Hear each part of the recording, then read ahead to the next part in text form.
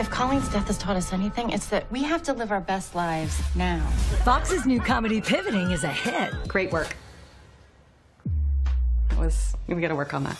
Critics rave. The cast has excellent chemistry, and it's always fun to watch. The word fun is weird. Fun. Fun. Fun. Fun. Plus, it's sharp and timely. I waited too long to start dating after my divorce. Put yourself out there. What is that? Is that a nursing bra? All new Pivoting on its regular night, Thursday after Call Me Kat on Fox.